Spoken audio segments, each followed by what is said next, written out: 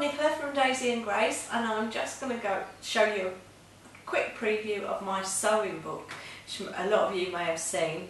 Um, this is it zipped up and as you can see it looks like a book. That's why I called it a sewing book. But inside there are a multitude of delights. So inside you've got a place for your scissors a place for your threader a pin cushion a needle case, a trash bag, so if you bear with me, I'll hold it up again, but that opens out so you can put all your scraps in there, you can tie it back up when you're finished and it pops off so that you can empty it.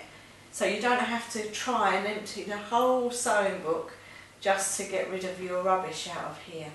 So that just pops back on. You've got a zippy pocket here for your projects and a big zippy pocket here for more of your, your work and your cotton reel holder so that you can, I, will show you my, my one that I use all the time. I've actually got three reels on there, so a sewing and two tacking threads. That fits perfectly on your lap. Um, so when you're travelling, you can have it on your lap, if you're lucky and not having to drive somewhere and somebody else is driving you, you can use this in the car. It fits perfectly on a lap tray on a plane. Um, I've got pictures on my Facebook page if you want to see that. That's quite entertaining. That keeps me entertained while flying because I hate flying. So this comes either, that's going to fall over, either as a kit which comes in this box or as a pattern. So if you don't have all the fabrics and the zips and things at home, you can buy it as a kit. But if you've got a big stash of fabrics, you just need the pattern. You've got your instructions, your two sheets of patterns, and on the back it tells you what you need. So that's either a kit or a pattern.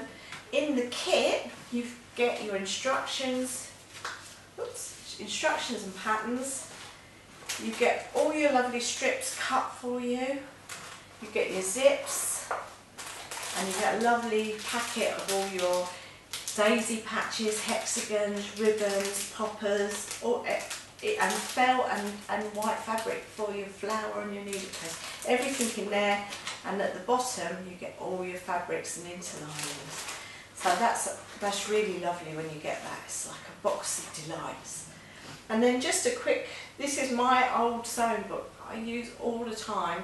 This is my first ever sample, hence why it's got Grace on it, not Nicola. Um, and I've decorated mine with bits of vintage lace, vintage buttons, some hexagons, some ric-rac. And I even, instead of using plain binding, I took loads of my fabric scraps and made um, a, a scrappy binding. So it's got a really bonkers binding. And this is inside, so as you can see, I do use it all the time. I haven't even emptied out my little trash bag, so I don't open that. That's full of rubbish. But as you can see, same as, same as the other one, but I've just used different fabrics to create this look. Well, I hope you've enjoyed this. Um, and until next time, take care. Bye-bye.